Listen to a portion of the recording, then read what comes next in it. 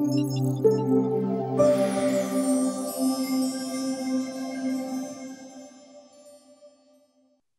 dann vielen Dank für die Einführung und auch ein herzliches Willkommen von meiner Seite.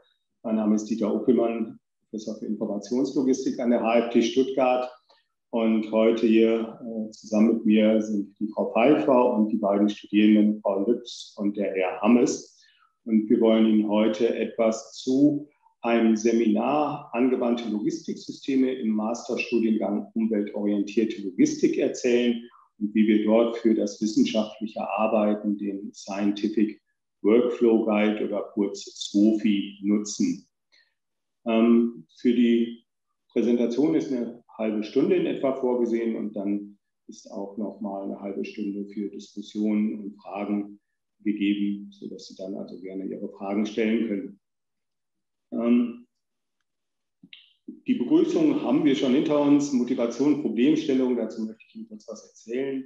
Dann wollen wir Ihnen mehr zum Thema SWOFI erzählen und zu dem Seminar aus Lernendenperspektive und auch aus Studierendenperspektive und dann auf die äh, Evaluationsergebnisse zu sprechen kommen. nach einem Fazit gibt es dann eben die Möglichkeit zur Diskussion. Ähm, wir starten hier mit einer Frage an Sie, und zwar geht es darum, welches für Sie die größten Herausforderungen in Bezug auf wissenschaftliches Schreiben sind. Da würde ich Sie mal bitten, ähm, Ihr, ja, Ihre Einschätzung hier abzugeben.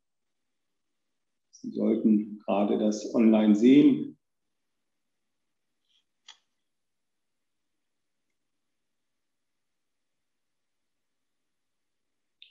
Eine Mehrfachauswahl ist möglich.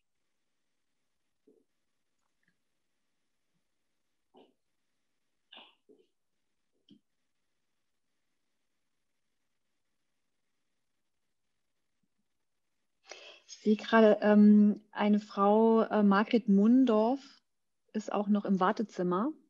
Hm. Ich habe sie gerade schon reingelassen. Ah, super, wunderbar. Ja. Ist, ist mir nur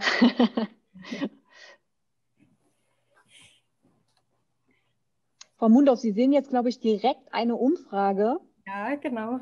Und Sie dürfen schon mal sofort mit abstimmen. Mehrfach Antworten sind möglich. Wir haben gerade gefragt, was so die größten Herausforderungen für Sie eigentlich beim wissenschaftlichen Arbeiten ähm, im Studium sind, beziehungsweise welche Herausforderungen Sie dann bei Ihren Studierenden so aus, ähm, ausmachen.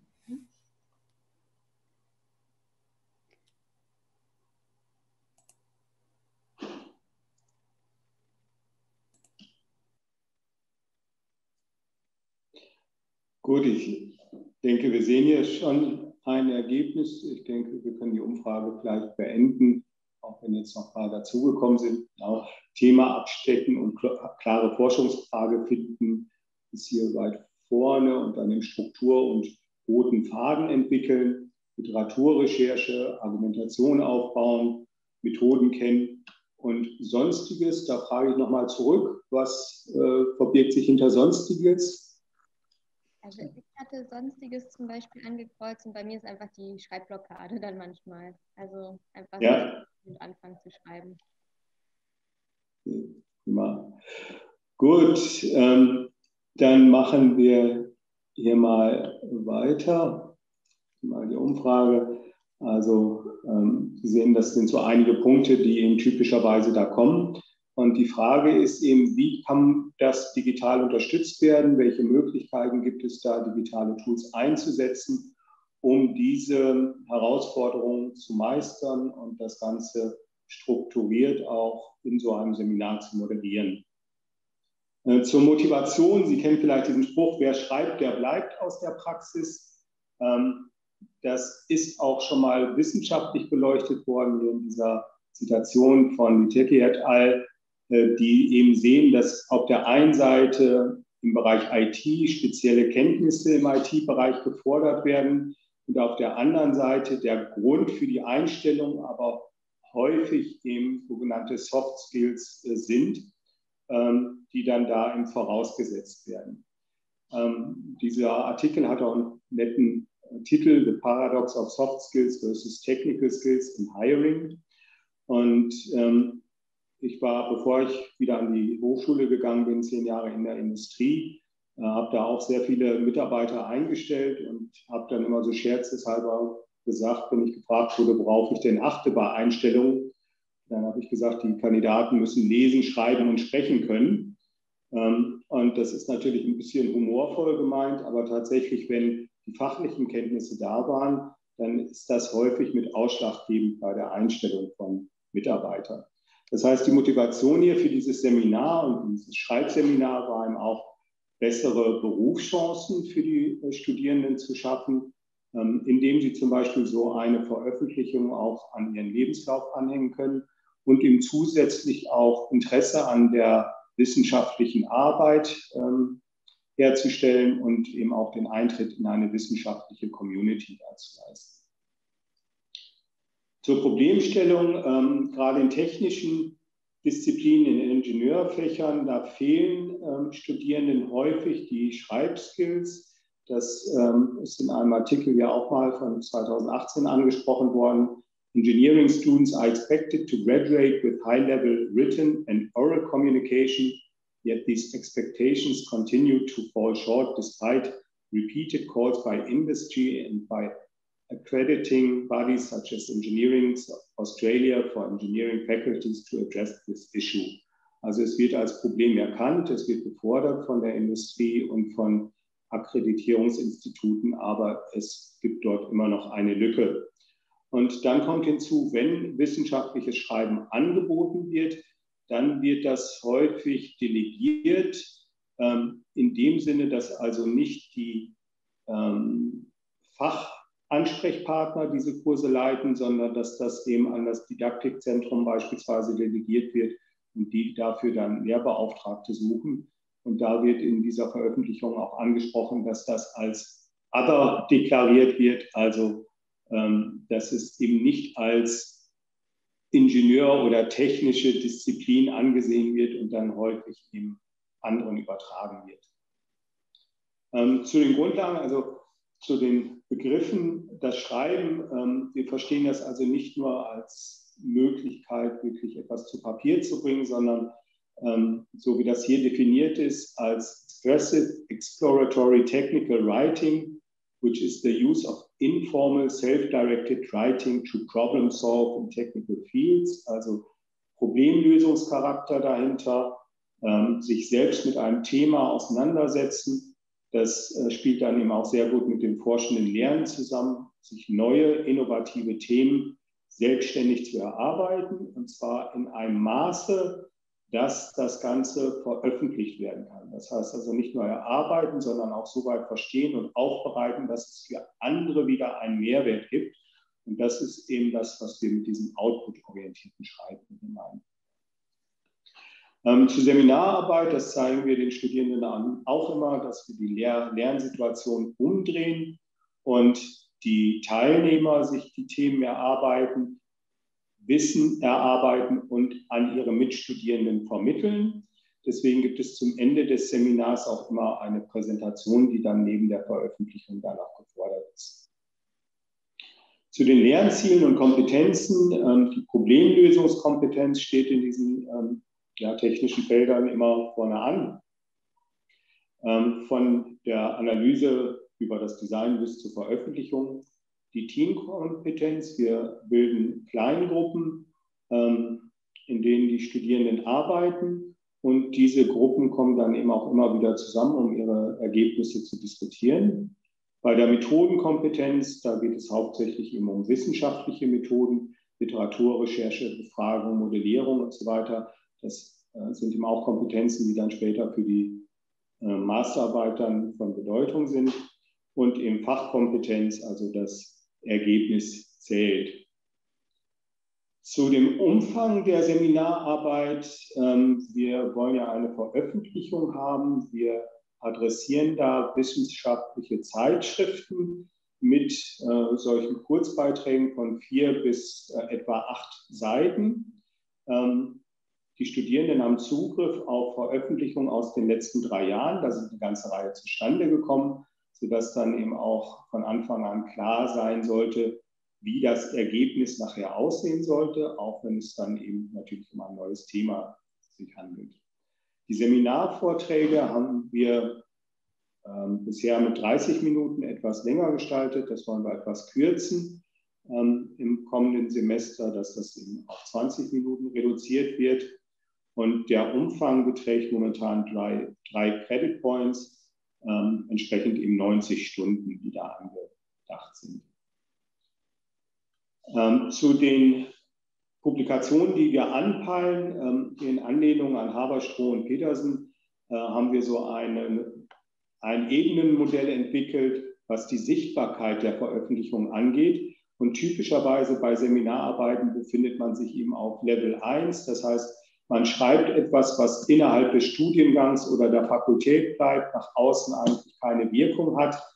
Ähm, und dann gibt es aber weitere Level, möchte jetzt nicht auf alle eingehen, aber bei vier und fünf, da sind wir so im Bereich der Doktoranden und Wissenschaftler, also wissenschaftliche Konferenzen und ähm, initiierte Journals, die eben auch bei Scopus oder Web of Science gelistet sind.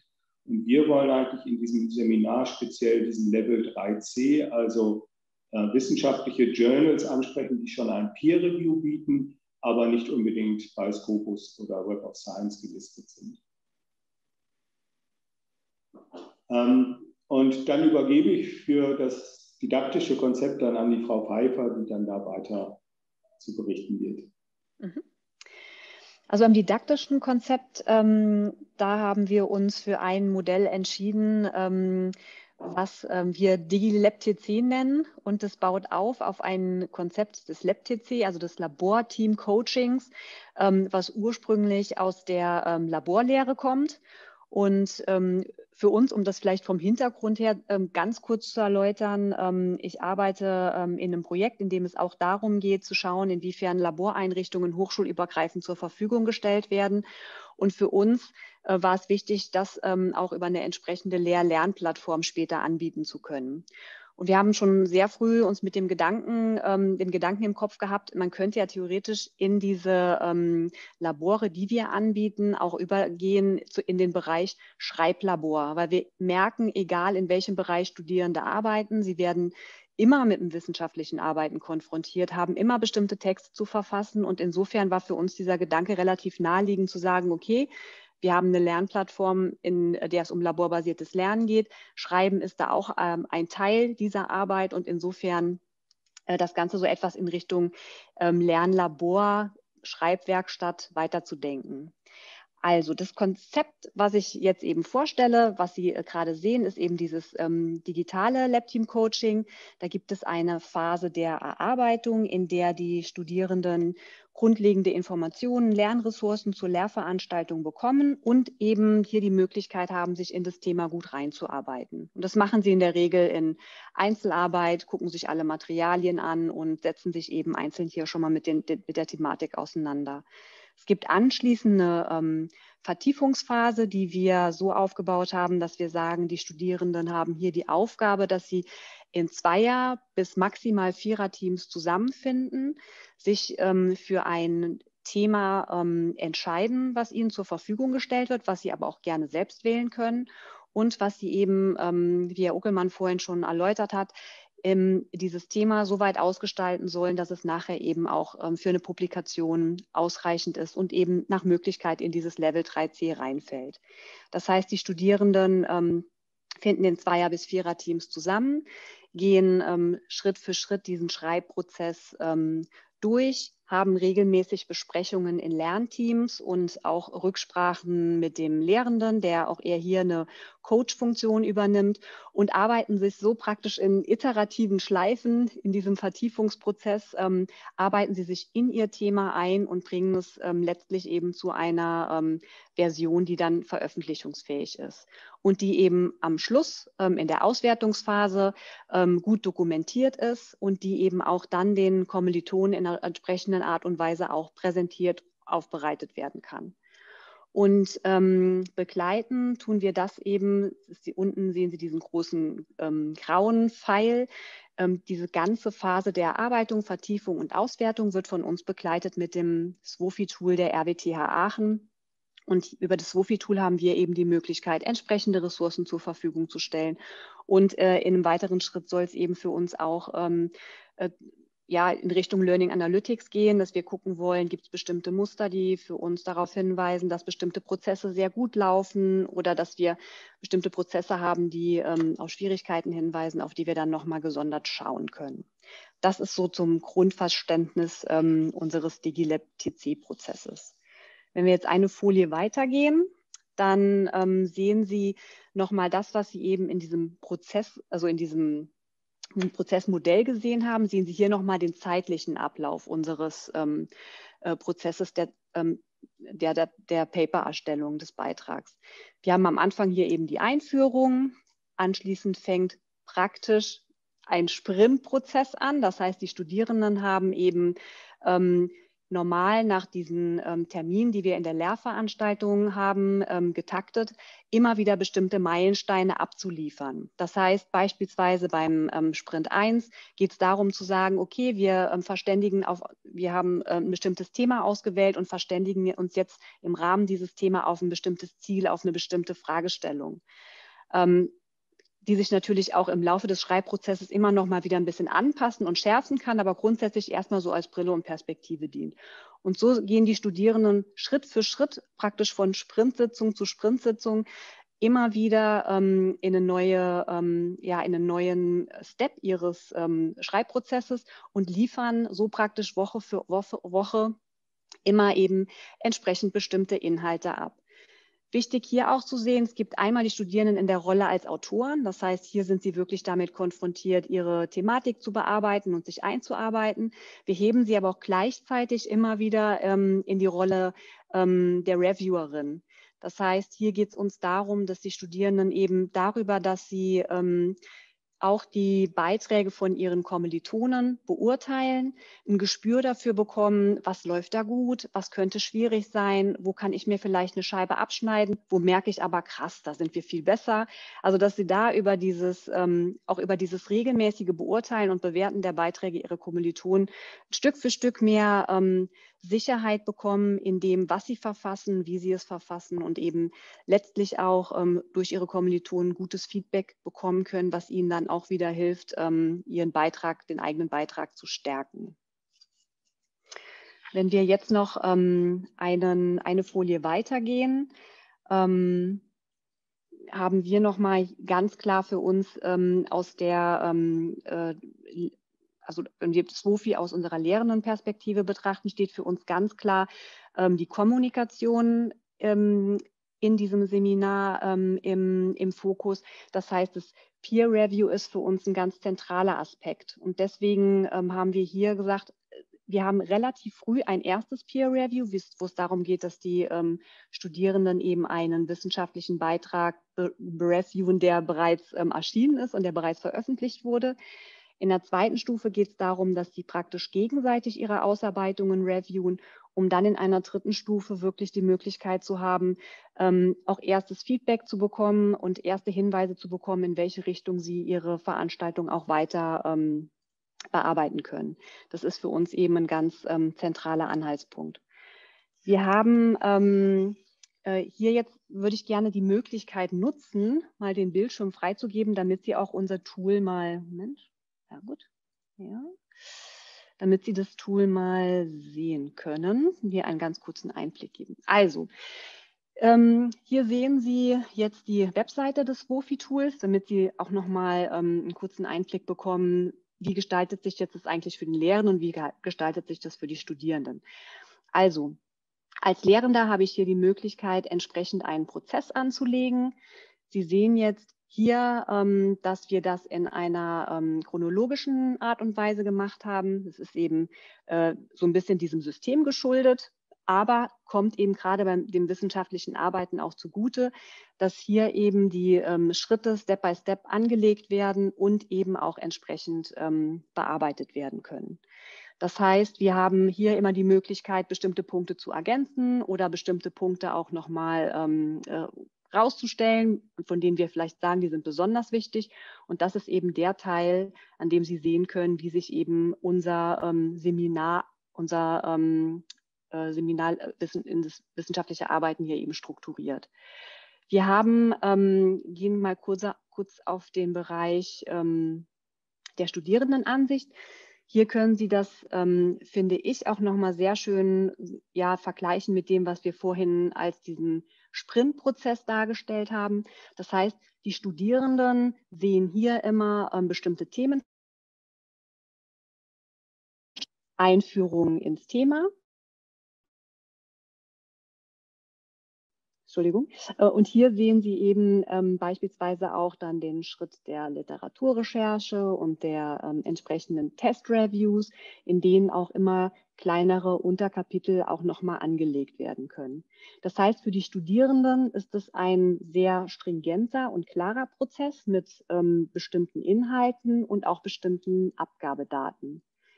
Wir haben ähm, auf der ähm, Seite links oben, kann immer sehr gut auch ähm, für die Studierenden ist immer einsehbar, was ist die nächste Frist, was muss als nächstes erledigt werden, was steht auf, auf der Agenda, was muss ich einreichen. Und Sie haben eben, wenn Sie sich hier links diesen Bereich anschauen, für jedes Themen, ähm, für jeden Themenkomplex, den Sie hier sehen, haben wir eben da die Möglichkeit zu sagen, wir ähm, bieten den Studierenden ein bestimmtes Hintergrundwissen an. Das heißt, ähm, hier gibt es beispielsweise bei der Einführung ins Thema eben generell ähm, einen ersten Einblick darin, was erwartet sie eigentlich im Seminar, was sollte wöchentlich abgeliefert werden. Für uns ein ganz wichtiger Bereich, auf den äh, Herr Uckel dann gleich nochmal eingehen wird, ist auch der Bereich, wie sieht es mit der Bewertung aus, ähm, nach welchen Kriterien richten wir uns, damit auch direkt für die Studierenden von Anfang an transparent ist, ähm, an was sollte ich mich halten, wo sind eigentlich die Schwerpunkte und was äh, muss ich ein bisschen ähm, berücksichtigen bei meiner ähm, thematischen Ausarbeitung. Dann gibt es beispielsweise, ähm, wenn wir jetzt hier eine, zur Themenauswahl gehen, oder haben wir es hier bei dem formaler wissenschaftlicher Beitrag. Achso, gibt es immer auch die Möglichkeit, auch einen bestimmten Link mit einzufügen. Das heißt, ähm, hier beispielsweise verweisen wir auf unser ähm, Literaturverwaltungssystem, was an der HFT Stuttgart für Studierenden ähm, verfügbar ist. Ähm, es gibt auch die Möglichkeit, ähm, eben Aufgaben speziell zu formulieren. Und wir haben auch die Möglichkeit, dann eben entsprechend den Studierenden eine Abgabe ähm, einzurichten. Das heißt, ähm, ich gehe mal gerade in den Bereich der Literaturrecherche. Da sehen wir auch nochmal eine ganze Reihe von Links, die zur Verfügung stehen und eben entsprechend eine Abgabe, also dass das erste Literaturverzeichnis, einen ersten Überblick über die bis dato gefundene Literatur eben entsprechend im Tool eingereicht werden muss, damit ähm, wir eben vor Sprintende dann die Möglichkeit haben, auch die Literatur nochmal einzusehen und dann vielleicht entsprechend, wenn es nötig ist, nochmal ein hilfreiches Feedback ähm, in der Sitzung selber zu geben.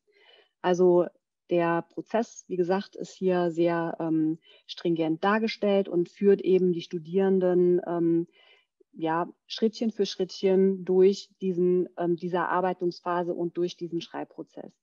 Der Vorteil ist, ähm, die haben es jetzt zeitlich getaktet, aber es kommt immer wieder vor, dass Studierende beispielsweise sich für ein Paper entschieden haben, in dem der Abgabezeitraum früher ist als der, den wir jetzt vorgesehen haben im Semester.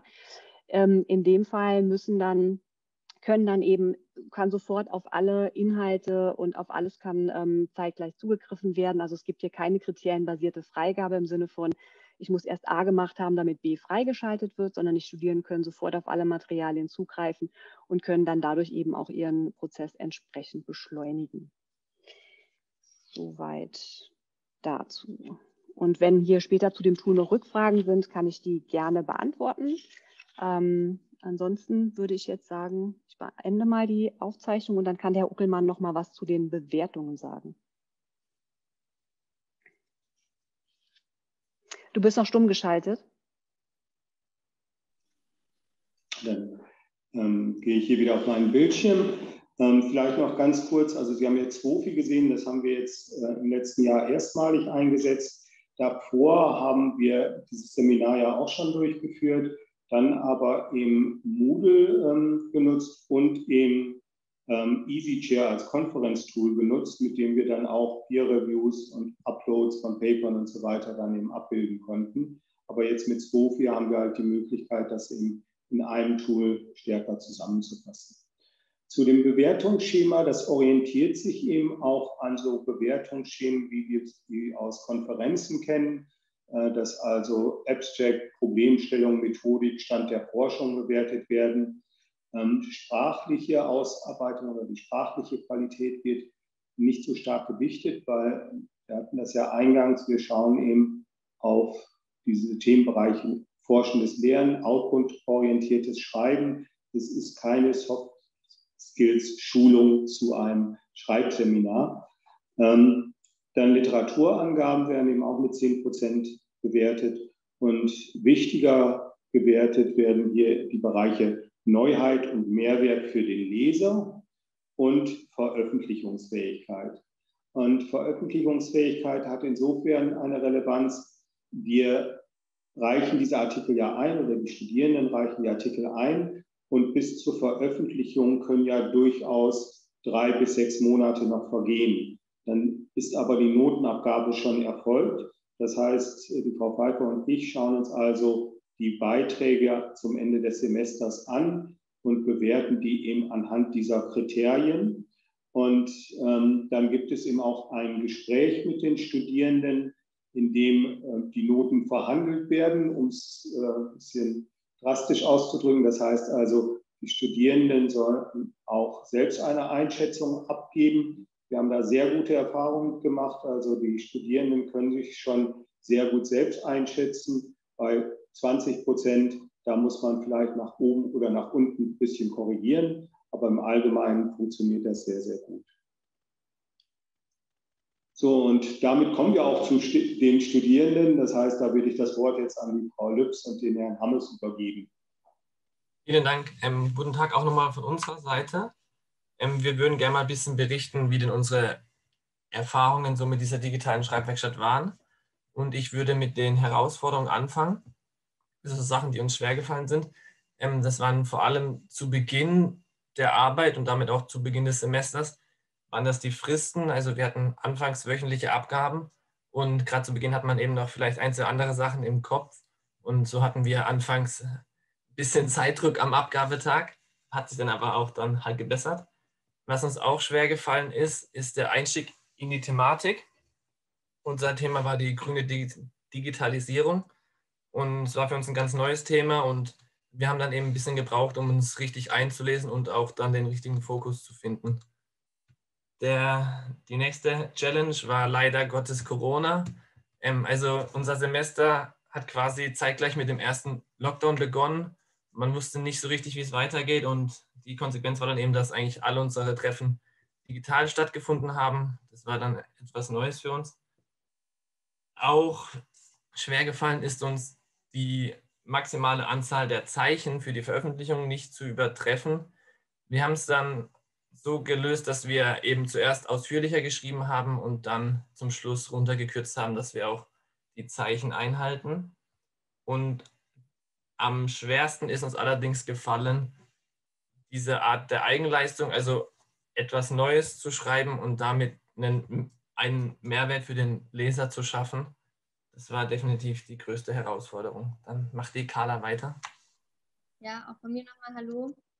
Ähm, jetzt hat er vorher erzählt, was die Herausforderungen waren. Ich würde jetzt mal erzählen, was, was für uns hilfreich war.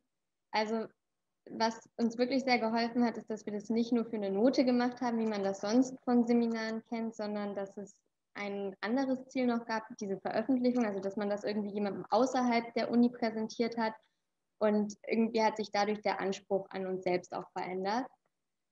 Es war sehr hilfreich für uns, dass die Meilensteine in SWOFI so eine logische Reihenfolge hatten, durch die man auch immer mal, wie Frau Pfeiffer das ja schon gesagt hat, auch mal vorblättern konnte und aber auch mal zurückschauen konnte, weil wir hatten das dann oft, dass wir nochmal Sachen überarbeitet haben aus einem früheren Teil. Und äh, die, diese Erklärungen, die da auch immer gegeben waren, waren für uns eine große Unterstützung. Dann hat es uns, auch wenn es davor hat er gerade gesagt, es war eine große Herausforderung für uns, dass wir ähm, wöchentliche Deadlines hatten, eigentlich gerade am Anfang. Auf der anderen Seite hat es uns aber auch sehr geholfen, dass man dann doch sich immer noch mal hingesetzt hat und nochmal was gemacht hat und so einfach konsequent jede Woche an diesem Projekt gearbeitet hat. Ähm, außerdem war es für uns auch schön zu sehen, was unsere KommilitonInnen so machen.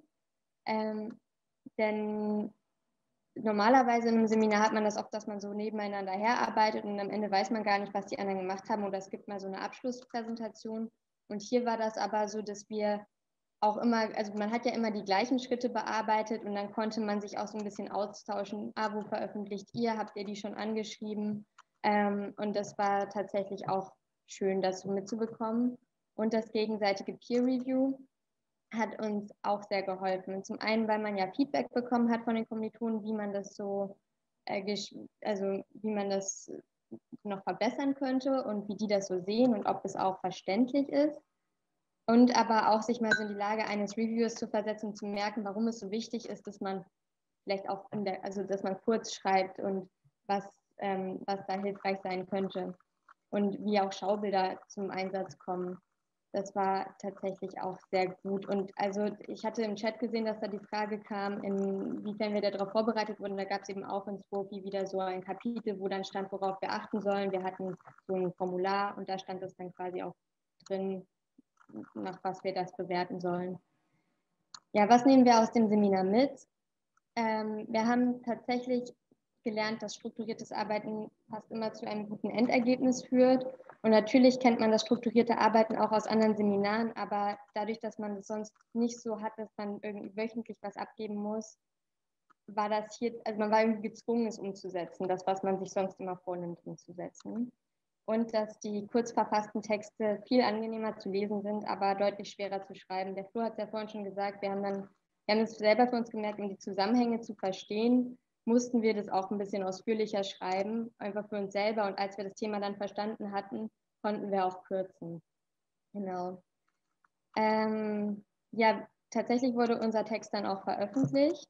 Ähm, wir haben bei Industrie 4.0 veröffentlicht und der Flo hat es ja schon gesagt, wir haben uns mit grüner Digitalisierung oder genauer gesagt mit der umweltpolitischen Digitalagenda beschäftigt und unsere Veröffentlichung ist Digitalisierung nachhaltig gestalten. Und ähm, was uns besonders gefreut hat, war, dass wir dann auch noch die Gelegenheit hatten, ein Interview zu führen mit ähm, dem Magazin, wo sie uns dann nochmal ein paar Fragen gestellt haben zu dem Thema, die vielleicht ein bisschen, mh, hm, ja, nochmal einen anderen Einblick geben. Genau, das war es von unserer Seite. Prima, dann vielen Dank dafür. Dann kommen wir mal zu den Ergebnissen in den letzten Jahren im, im Überblick.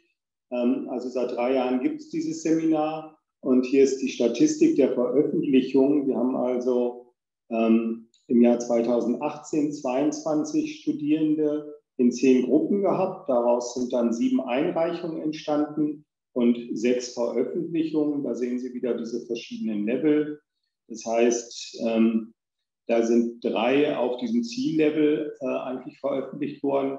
Eine Veröffentlichung gab es auf einer ähm, Webseite von einem Online-Magazin und eine Veröffentlichung bei einer hochschuleigenen äh, Herausgeberschaft.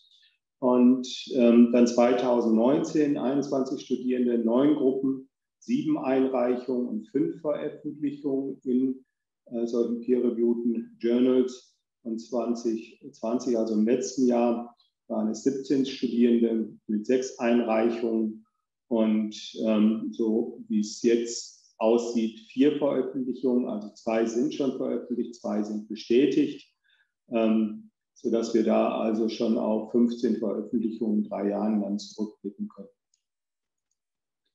Ähm, zu der Evaluation der, ähm, ja, da ist es so, dass wir im letzten Jahr eine neue Evaluation, einen neuen Evaluationsbogen bekommen haben, der sich eher an Seminare richtet. Das heißt, wir haben hier jetzt keine durchgängigen Zahlen für diese drei Jahre.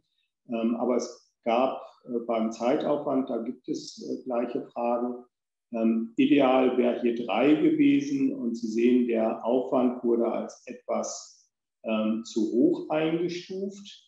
2019 ähm, war das recht gut mit 2,7, 2020 mit 1,9 äh, höher eingestuft. Das mag auch mit dem Corona-Semester zu tun äh, gehabt haben, weil äh, natürlich dann mehr in Heimarbeit, Eigenarbeit notwendig war, als das jetzt in den anderen Jahren war, wenn es eben Präsenzveranstaltungen gab.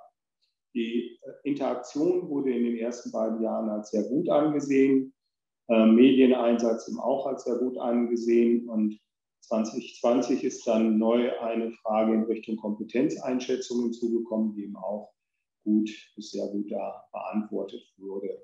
Sie sehen aber auch, die Teilnahme an diesen Evaluationsbögen könnte besser sein. Ähm, zum Ende des Semesters ist es immer so, dass die Studierenden für jeden Kurs viele Evaluationsbögen dann da haben. Und ich, vielleicht frage ich Sie dann nochmal, äh, wie ist das so mit der Motivation, ähm, diese Bögen auszufüllen zum Semesterende? Herr Hammes oder Frau Lücken? Ähm, ich fülle die immer aus. Also, ich weiß nicht, ich habe noch nie einen nicht ausgefüllt, weil ich das eigentlich. Also ich mache auch meistens bei diesen Online-Umfragen mit, wenn ich so eine kriege. Also. also, ich bin eher der Student, der dann am Ende des Semesters doch andere Sorgen hat, als die Evaluation auszufüllen. Aber wenn mir mal was gar nicht passt, dann kann man das ja auch immer persönlich ansprechen. Ja. Die Möglichkeit ist auch immer gegeben.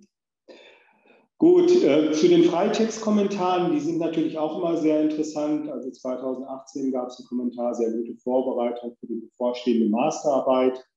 Ähm, durch das Papersprint-Konzept wurde kontinuierlich gearbeitet. Auch die Möglichkeit der Veröffentlichung ist eine willkommene Abwechslung. Konnten sehr viel durch das Peer-Review-Verfahren mitnehmen und hat maßgeblich zur Verbesserung des eigenen Textes beigetragen. Zudem wurde das Gespür und ähm, der Blick für wissenschaftliche Texte geschult. Da kam auch eine Frage, wie die Studierenden auf die Rolle des Reviewers vorbereitet werden.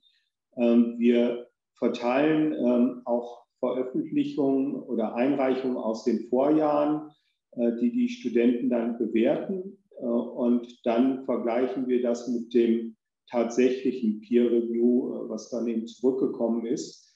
Und ähm, so gibt es also schon eine kleine Einarbeitung in dieses Peer Review Verfahren. Und dann eben später im Semester wird dann eben, werden Artikel von anderen Studierenden ähm, begutachtet. Ähm, das Zusenden der korrigierten Word-Dokumente durch die betreuenden Dozenten war sehr hilfreich.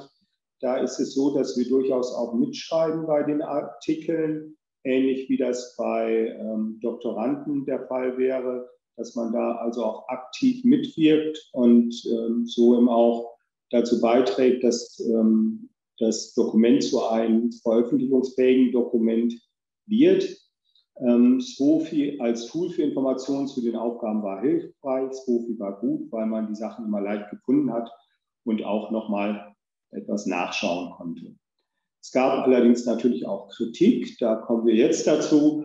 Es waren 2018 mal zusätzliche Vorlesungsinhalte gewünscht.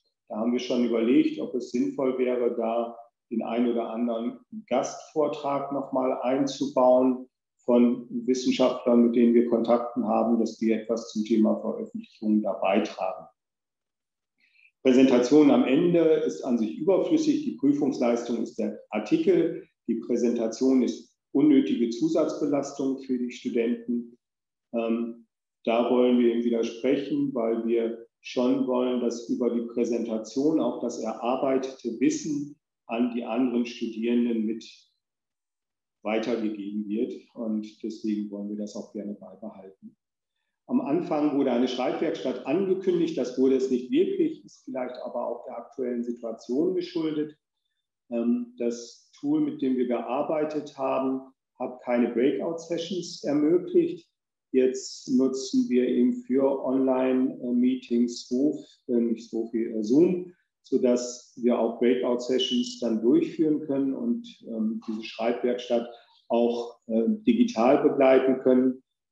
dennoch, ich mag dieses Konzept der Präsenzveranstaltung für die Schreibwerkstatt, weil wenn die Gruppe dann zusammensitzt, gemeinsam an einem Dokument arbeitet, dann äh, hat das doch auch einen Werkstattcharakter, einen motivierenden Charakter, dass man sich wirklich auf das Thema konzentriert und zusammen an diesem Text arbeitet. Ähm, die Zeiten ins Profi sind häufig nicht die gleichen wie äh, die kommunizierten in den Vorlesungen.